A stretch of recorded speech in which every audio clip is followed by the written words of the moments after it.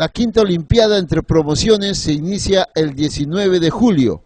Karina Ramírez del área de deportes de la Municipalidad de Chancay nos da los principales detalles de estas Olimpiadas para el nivel inicial, primaria y secundaria. Así es, estamos en la etapa de inscripciones del Festival de Olimpiadas de Promociones para el nivel inicial, primaria y secundaria, el cual se llevará a cabo el día 19 de julio en la inauguración en el frontis del estadio a las 3 de la tarde en, en punto. Bien, ¿las inscripciones hasta qué días serán?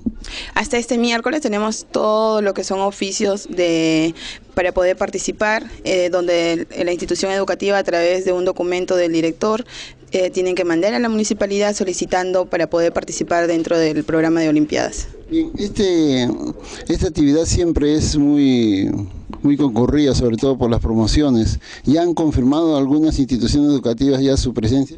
Así es, ya tenemos casi el, 90% de, instituciones educativas que van a participar en, este año, tanto en el nivel inicial, en primaria y en secundaria. Eh, en este año se están innovando dos, este, dos pruebas más en competencia. Tenemos el concurso de saber estudiantil, el cual se va a realizar en un programa de radio en vivo, donde los chicos se, va, este, se le va a realizar preguntas de cultura general.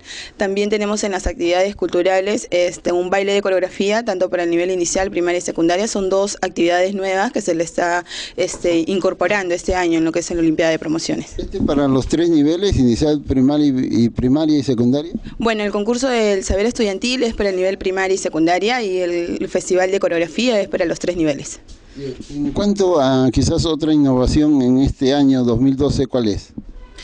Bueno, este año estamos eh, alargando un poco más de, disciplinas deportivas.